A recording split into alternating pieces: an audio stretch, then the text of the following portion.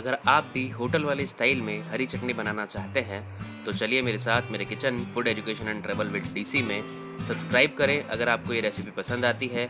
और ये जो पास में बेल है, इसको ज़रूर क्लिक कर दें ताकि आपको मेरी अगली वीडियो की नोटिफिकेशन भी वक्त पर मिले।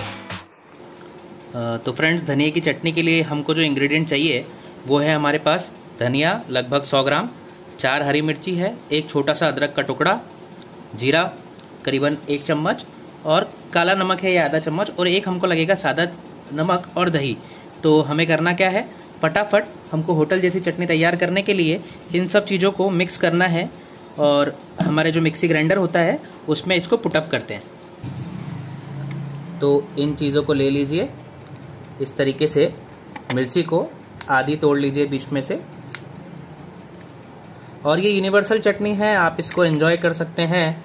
खमन ढोकले के साथ में आपके कचौरी, समोसे, इन सभी चीज़ों के साथ में मैंने अदरक डाल दिया है इसके अंदर। अब ये जीरा एक चम्मच मैंने डाल दिया है।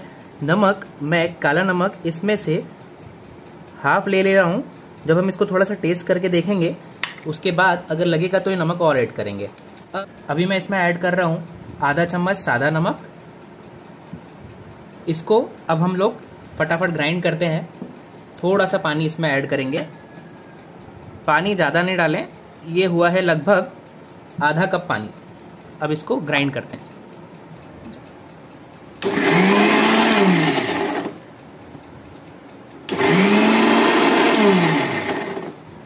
फ्रेंड्स, देखिए, दो एक मिनट पिसने के बाद ऐसा दरदरा पिस गया है ये।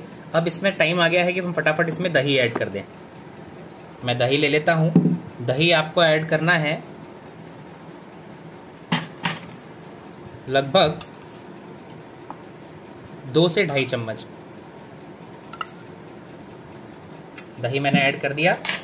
अब इसको कवर अप करते हैं और फिर से पीसते हैं। तो फ्रेंड्स आपकी हरी चटनी परफेक्ट कंसिस्टेंसी के अंदर तैयार है एंजॉय करने के लिए।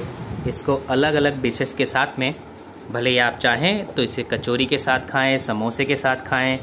आप इसे पकौड़ों के साथ खाएँ और इसे जब आपके पास हरी चटनी के साथ में अगर मीठी चटनी हो, तब तो ये बहुत बहुत अच्छी टेस्ट लगती है। अगर वो नहीं भी हो तो इसके अंदर डालें थोड़ी सी शक्कर और इसे एंजॉय करें खमंड वगैरह के साथ में भी। तो ये रहा आपका हरी चटनी।